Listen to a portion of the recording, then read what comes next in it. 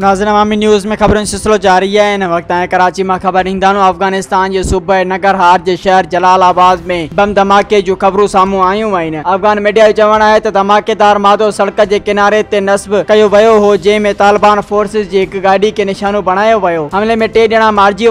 we जणा ज़ख़्मी थी पिया मुक़ामी मीडिया जो चवण आहे त हिक खां वधीक